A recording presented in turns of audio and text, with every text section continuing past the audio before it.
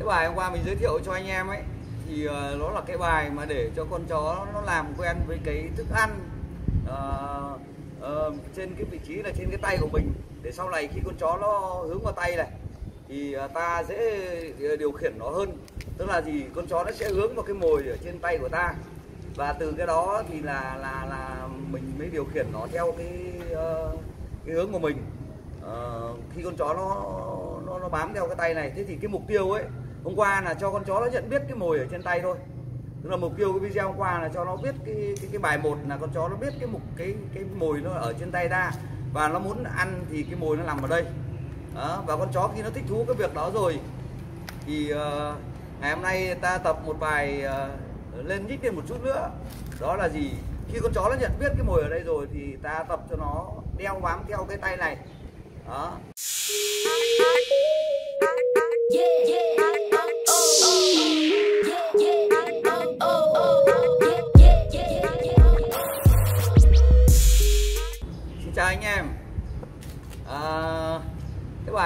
Giới thiệu cho anh em ấy Thì ờ, nó là cái bài mà để cho con chó nó làm quen với cái thức ăn uh, uh, Trên cái vị trí là trên cái tay của mình. Để sau này khi con chó nó hướng vào tay này Thì ta dễ điều khiển nó hơn. Tức là gì? Con chó nó sẽ hướng vào cái mồi ở trên tay của ta. Và từ cái đó thì là là là mình mới điều khiển nó theo cái uh, cái hướng của mình. Uh, khi con chó nó, nó nó bám theo cái tay này thế thì cái mục tiêu ấy hôm qua là cho con chó nó nhận biết cái mồi ở trên tay thôi. Tức là mục tiêu cái video hôm qua là cho nó biết cái cái, cái bài một là con chó nó biết cái mục cái cái mồi nó ở trên tay ta. Và nó muốn ăn thì cái mồi nó nằm ở đây. Đó, và con chó khi nó thích thú cái việc đó rồi thì uh, ngày hôm nay ta tập một bài uh, lên nhích lên một chút nữa. Đó là gì? Khi con chó nó nhận biết cái mồi ở đây rồi thì ta tập cho nó đeo bám theo cái tay này.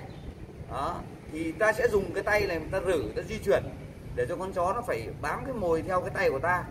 Thì đấy nhưng mà anh em phải lưu ý một điều này là uh, trong quá trình mình uh, rử mình di chuyển nó thì mình vẫn phải mình vẫn phải cho thưởng cho nó ăn. Thì lúc này là hai tay ta đều phải cầm và cầm cái mồi thức ăn là nó phải là vài viên một. Hôm qua có thể kẹp viên một đổi này. Hôm qua có thể kẹp viên một đổi đưa xuống thưởng nhưng hôm nay là phải cầm đấy vài hạt một. Bởi vì là trong quá trình khi mình di chuyển mình có thể ờ, ví dụ như là nó mới mà, nếu mình đi dài quá mà mình mới cho nó ăn là nó chán, nó sẽ bỏ. Thế nên mình chỉ đi khoảng hai, một, hai bước, cái là mình lại phải thưởng một cái là phải cho nó ăn một miếng luôn. Nhưng mà vẫn để cái tay dí sát vào đó để nó biết được là vì khi ta, khi nó ngửi mùi ở trên tay ấy, ngày hôm qua là ngửa tay này, thì hôm nay lắm này, vì con chó nó sẽ biết mồi nằm trong bàn tay, thì nó sẽ đi theo. Và nên khi nó đi theo ấy, thì là là là, mình sẽ vừa đi vừa thưởng cho nó đó, vừa đi vừa thưởng cho nó bằng cách là khi mình nắm ở trong tay này mình xòe ra từng ngón một thì thức ăn nó sẽ lộ dần ra. Và khi nó ăn cái cái ngoài rồi thì mình lại xòe tiếp ngón nữa thì cái thức ăn nó lại lộ ra tiếp và mình lại xòe tiếp nữa cho đến khi nó hết thì mình lại đổi tay. Cái thứ hai nữa là gì? Mình uh, di chuyển mình ờ, tập mà di chuyển. Vấn đề thứ hai là mình tập di chuyển và để cho con chó nó bám theo nhưng mà nó lại bám theo cái đường dích chắc vòng vèo. Tức là mình muốn nó đi đâu thì mình hướng nó tới đó chứ thay vì như hôm qua là mày chỉ cần theo tao là được. Thì hôm nay mình bắt đầu có những cái điều hướng hướng theo cái đường vòng tròn để cho con chó nó mai sau này, ví dụ như cái tập, cái bài đi vâng lời mình sẽ hướng dần nó về đi bên cạnh. Đó. Và nó sẽ liên quan đến một số cái bài sau này nữa. Thì trước mắt là là mình ờ, tập cho nó hướng. Một là đi đi thẳng theo trước mặt và mình lùi. Và cái hướng thứ hai là mình sẽ đưa vào bên cạnh chân. Mình đưa về cạnh chân để cho con chó nó đi theo. Đó. Để cho con chó nó đi theo về cạnh chân thì cái cái này ở cái bài này thì cái động tác quan trọng nhất ấy là một là với cái đường đi thẳng thì mồi luôn phải ở cạnh miệng con chó. Vì cái mũi con chó rất là thính nó biết cái mồi trong tay ra rồi thì nó sẽ luôn bám theo ở trên tay ra đó.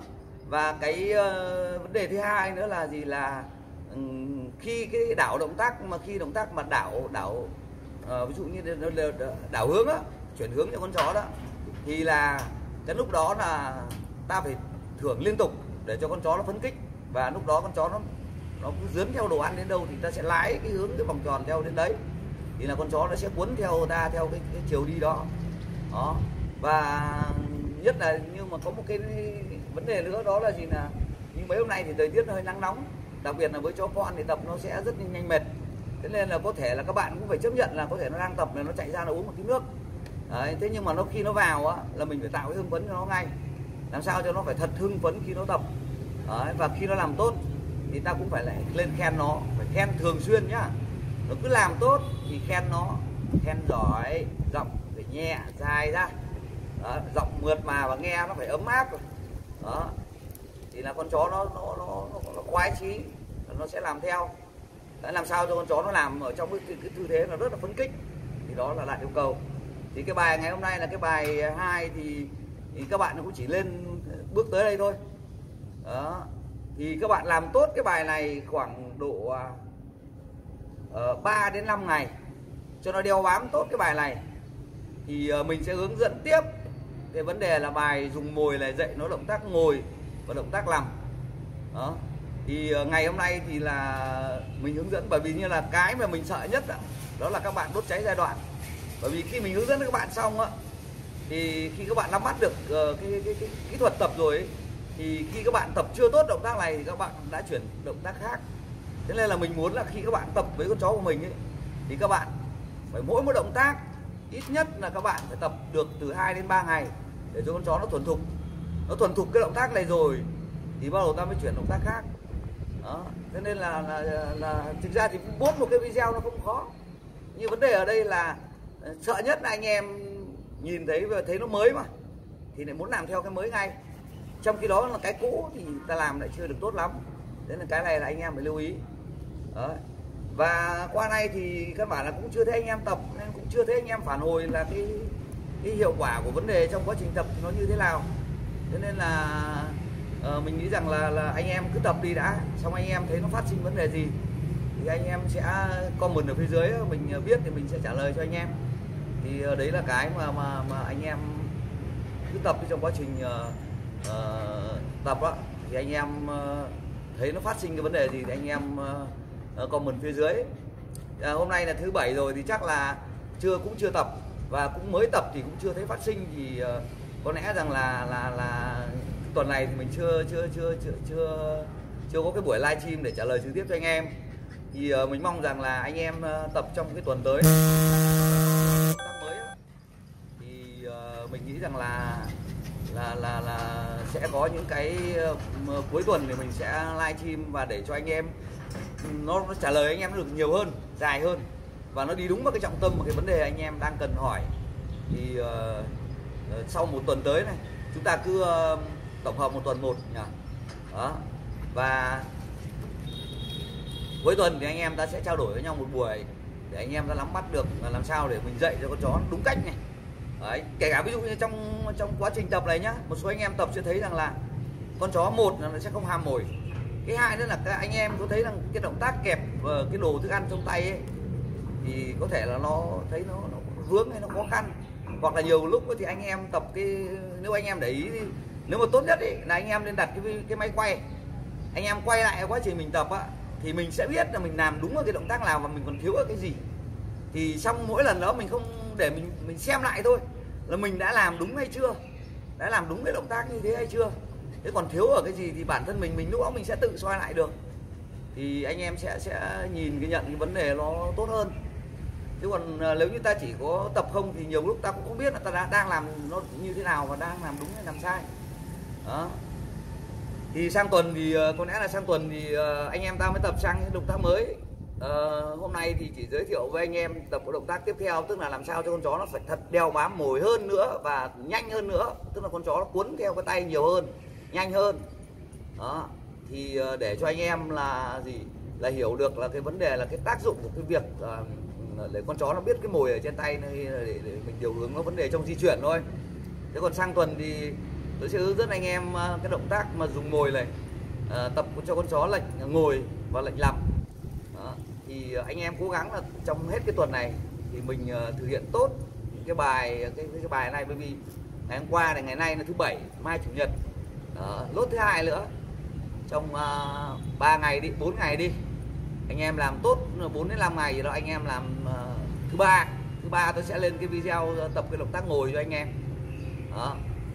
Uh, mà cũng lại nói luôn với anh em nhá là con chó này cũng là tập cùng anh em luôn tức là gì đấy anh em thấy rằng là con chó nó còn mộc nha lắm lúc nó tập luôn không nó, nó còn mải chơi đó nó chưa tập trung đâu thế nên là anh em tập theo và xem là tôi tập như thế nào và anh em tập như thế nào. Đó. Và tôi cũng phải nói luôn một điều thế này này.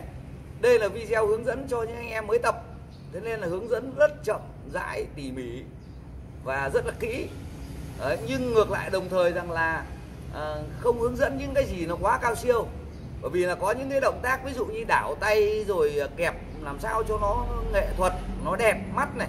Rồi những cái động tác à, xoay đảo cổ tay để à, cho con chó nó dẻo này là không có trong những cái video như thế này. Bởi vì sao là anh em mới tôi chỉ cần anh em làm đúng làm đúng cái kỹ thuật để tập thôi.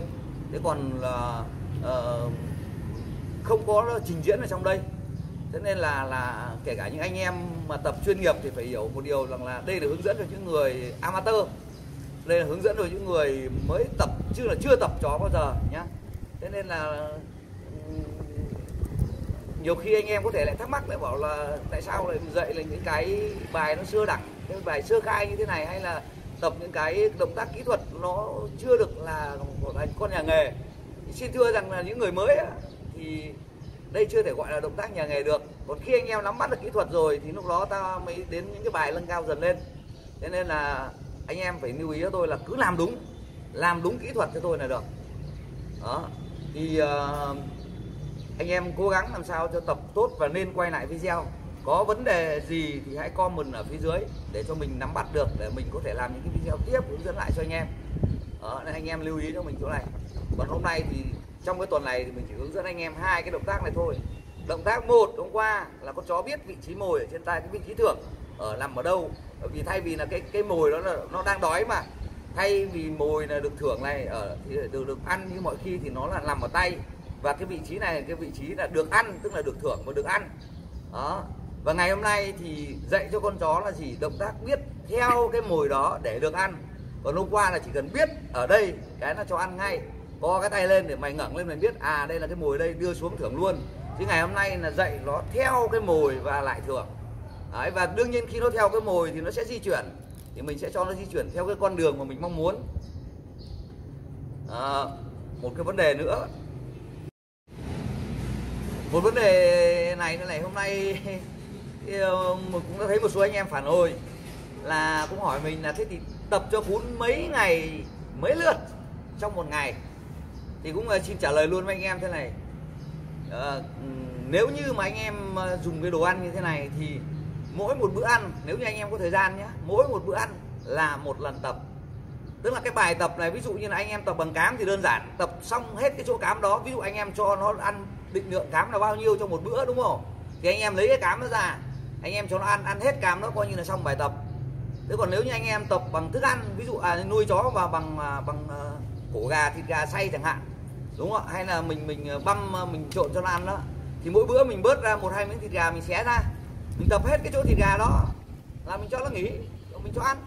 Thế thì con chó nó hiểu được rằng là à cứ tập đi, đúng không? Tập sau cái bữa à, tập buổi tập này là có ăn, thì nó sẽ tập còn hưng phấn hơn.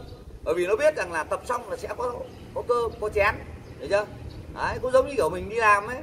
Bây giờ đi làm về, bây giờ làm rõ ràng là, ví dụ anh em mình phải thừa hiểu với nhau là ví dụ như ở công ty hay bên ngoài ví dụ như quy định là 11 rưỡi nghỉ chẳng hạn đúng không?